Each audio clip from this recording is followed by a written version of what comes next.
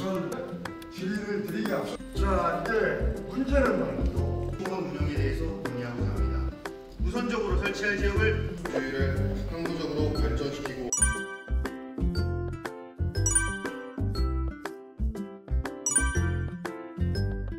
학생 가족 지원입니다.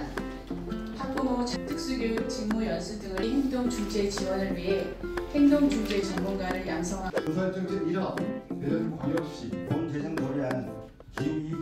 시대 기성무 불발량 재정은 대전 말씀해 주시기 바랍니다. 다음으로 주요 경력 인간기타 우리 위원회의 3회 2014 아시아대 좀 지자체와 협업을 해서 특히나 이 이와의 알림이 안 오게끔 그 관리하는 주로 이제